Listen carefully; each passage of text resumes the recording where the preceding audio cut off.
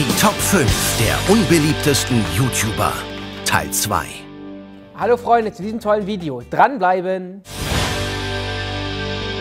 Platz 5. Simon Desue. Was geht ab, meine lieben Freunde? Hier ist wieder Simon Desue.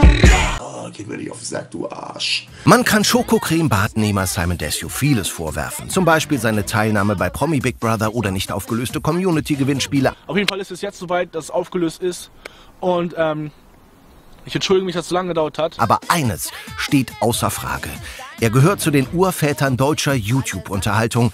Leider musste durchaus humorvoller Quatsch-Content mittlerweile Platz für austauschbaren Trend-Trash machen und das Ergebnis dieses fragwürdigen Kanalwandels ist noch bitterer als Zitronensaftkonzentrat. It's true. Bin ich auch dabei? Komm schon, bitte darf ich auch dabei sein. Unbeliebt, was ist unbeliebt? Ähm, wir reden natürlich eigentlich so von polarisierenden äh, Persönlichkeiten, die meistens negativ polarisieren. Ich mag ihn eigentlich, also klar, sein, sein Content ist mittlerweile halt schon seiner Zielgruppe angepasst. Simon Desue ist für mich kein sympathischer Mensch. Ich kenne Simon sehr gut, deswegen ich kann über Simon nichts Negatives sagen, weil ich ihn kenne. Erstmal möchte ich natürlich sagen, willkommen zurück hier. Ich freue mich sehr, wieder hier zu sein. Auch Grüße an Axel und an Lucy Cat. ja. Und äh, was war jetzt äh, die Frage? Ist halt Simon Desue. Ich meine, man kennt Simon Desue jetzt schon so lange. Was willst du erwarten? Für mich ist er gestorben in dem Moment, wo er die Olle um die 1000 Euro und die Xbox betrogen hat. Ich meine, in Chicken Wings baden, das macht man jetzt nicht, weil man morgens da auf die Idee kommt. So. Das ist halt, weil es Klicks bringt, glaube ich. Spätestens, wo er die Nutella misshandelt hat, oder das Nutella, ne, war der für mich gestorben. So, keine Ahnung. Ich erwarte auch immer noch eine Rechtfertigung eigentlich von ihm. Gut, das hat er jetzt irgendwann gespendet, aber selbst da weiß man nicht, kam das wirklich anders geht. Aber er gehört da zu den Urvätern. Moin Leute, moin Freunde, für mich ein völlig verdienter Platz Nummer 5. Platz 4. Rebecca Wing. Jo Leute, was geht? Becky ist wieder am Start mit einem neuen Video für euch und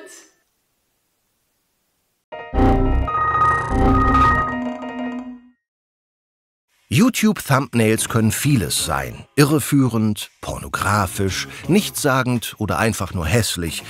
Im Fall von Rebecca Wing trifft allerdings die folgende Variante zu. Unfassbar nervig. Verstehe die, versteh die Ansage jetzt hier nicht. Aber gut, was ist daran nervig? Doch nicht nur Rebeccas stets geschockt aussehende Vorschaubilder sind verantwortlich für ihren Platz in diesem Ranking. Es ist auch Frau Wings austauschbarer, simpel hergestellter Content, der in den meisten Fällen noch weniger Inhalt hat als zu 90 Prozent mit Luft gefüllte Chipstüten. Hm. Fabian, ich habe gesagt, keinen Speckgeschmack. Du bist ein hübsches Mädchen, aber ich kenne dich leider noch nicht. Ich habe mir das angeschaut und ich muss ganz ehrlich sagen, ich verstehe das überhaupt nicht, weil diese Frau hat Todesangst. Ich auch. 24 Stunden nachts um drei mit Momo eingesperrt in einem Karton verschicken per DHL mit dem Weihnachtsmann. Beste Clickbait-Titel. Geil. Ich kenn's nicht. Ich, ich, also ich, habe die Thumbnails angeguckt, ich, ich, ich höre nur Negatives und dass sie auch relativ wenig Eigenleistung in die Videos reinpackt. Okay, habe ich noch nie gehört. Ähm, krass, dass sie so viele Follower hat und an mir vorbeigeht. So ein Mädchen, das Comedy macht, sehr gut. Feier ich. Platz 3. Prank Bros. Peace Leute, was geht ab? Ich bin Marvin. Das ist Kelvin. Und heute gibt's mal ein Wettessen und zwar mit Eiskugeln. Ein gleich aussehendes Pappnasenpärchen, welches in seinen Videos ausschließlich geistigen Dünnschiss vom Stapel lässt und damit fast täglich in den Trends landet, sprechen die zwei mit einer Plastikente? Es geht um wen anders. Ah ja, stimmt. Die Prank Bros sind zwar keine Zwillinge, aber aus irgendeinem Grund wird man beim Konsumieren ihres gehaltvollen Contents das Gefühl nicht los, als würden die beiden sich nur eine Handvoll Gehirnzellen teilen. Aber wie sagt man so schön, der Erfolg gibt ihnen recht. Und ich habe so, was? Äh, ja, also, ähm, Sind das die, die auch hier gesagt haben, fass für den Fuffi meinen Schwanz an? Waren das die? Mag ich gar nicht. Boah, Jungs, ich bin ehrlich, ne, Prank Bros, Jungs. Also ich habe ja auch viele Videos von euch gesehen. Dazu kann man eigentlich nicht viel sagen, außer dass das, finde ich, absoluter Müll ist, was die machen. Ich habe meistens reingeklickt und dann wieder raus. Ja, quasi wir in erfolgreich und noch abgewichster. Ja, was soll ich dazu sagen? Ja, mein Gott, es ist natürlich mal schwierig, ne, sowas zu kritisieren, weil immerhin ihr Fotzen da draußen schaut euch das ja die ganze Zeit auch an. Irgendwoher müssen die Klicks ja auch kommen. Null. Also das, das ist total dumm. Also die Leute, die denken, dass das echt ist, muss nicht sagen, hier, da kann ich mehr, kann ich nicht mehr auf das Troste gehen, dass ich mit denen konfrontiert werde, mit den beiden Köpfen da. Keine Ahnung, die, die, haben, die haben ihr Leben mit 300 km/h gegen eine Wand gefahren. Kann ich nicht nachvollziehen. Ich bin uns, bin's auch, bin's auch wirklich satt, Alter. Platz 2. Tilan. Hey Leute, ich bin's wieder, eure LAN.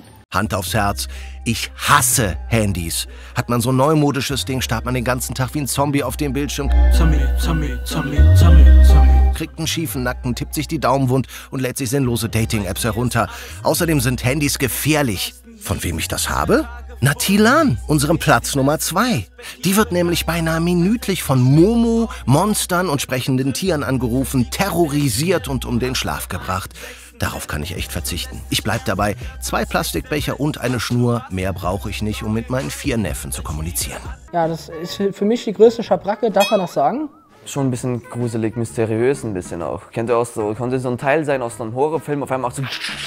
Es scheint so, als wenn manche Menschen einfach sich nur noch präsentieren wollen, um Klicks abzu- und Werbung zu schalten. Finde ich irgendwie scheiße. Wenn Momo anruft, wer ist Momo? Das Monster, wenn Momo anruft, da hat sie ganz viele Momo Videos. ist mein Untermieter. Täglich viele Grüße an Momo. Einer muss es ja machen. Einer muss ja sich in diese todesmutigen Situationen stürzen. Ähm, freut euch auf meinen Kanal. Herr Bergmann kommt demnächst die große Momo-Reportage. Aber ansonsten, komm ruhig rein. Ich weiß nicht, das ist wie GZSZ. Bei ihr gibt's halt nur SZ, ne? Gehen Sie ruhig durch, genau. Kein Problem. Ja, verdienter Platz 2 hier. Platz 1. Yo, Olli. Jo Leute, es gibt mal wieder eine neue Folge Mädchenküssen. Bei 500 Likes gibt's den nächsten Part. Immer wenn du glaubst, du hast die größte Scheiße schon erlebt, dann kommt noch mal um die Ecke der nächste Hammer. Kennt ihr das, wenn ihr gerade gemütlich auf einer Spielplatzparkbank sitzt, euch ein hauptsächlich aus fettiger Mayonnaise, mehligen Tomaten und viereckigem Formfleisch bestehendes Baguette gönnen möchtet und plötzlich quatscht euch ein fremder Typ an, um eines seiner Sektenzeitschrift-Abos loszuwerden? Hey, du. Wer ich? Schlimm sowas. Noch schlimmer steht es um unseren Platz 1. Denn YouTube-Star Yo Olli toucht und quatscht in den meisten Fällen schnuckelige Mädels an und verfolgt dabei nur ein Ziel: Knutschen. Leider hat der, ich betone, erwachsene Olli auch ab und zu mal ein Äuglein auf minderjährige Mädels geworfen. Soll man dazu sagen? Kopf ab. Und somit waren Karriere als auch Image schneller im Eimer als mein Erbrochenes nach dem besagten Baguette. Ganz schön eklig, oder? Und somit auch ein verdienter Platz Nummer 1. Ich wollte euch einfach nur noch mal Tschüss sagen und Abschied nehmen und einfach sagen, ich höre jetzt auf mit YouTube.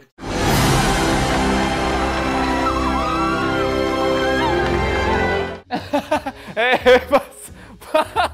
Mein Bruder Reportagen, der hat ihn ja richtig schön verbal, äh, darf ich gefickt sagen? Gefickt, er hat ihn gefickt. Der hat auch so eine Art an sich, weiß nicht, das, ich finde das schon sofort unsympathisch, wenn das Erste, was derjenige sagt, gleich sagt, ey, folgt mir auf Instagram. War das der Typ, der hier die äh, für 50 Euro fast mehr an den Schwanz? War der das jetzt? Der war das? Ah, ja, okay.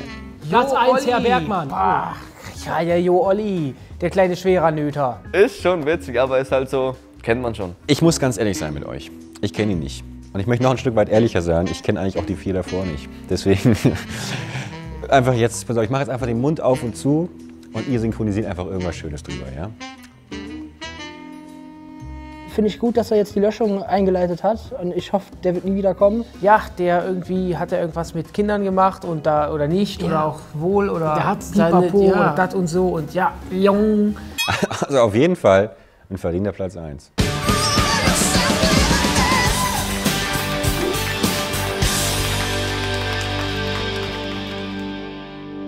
Mensch, da waren ja ein paar unbeliebte Nasen dabei. Boah. Fehlt euch ein YouTuber oder sagt ihr, Mensch, das ist aber unfair, dass der dabei ist?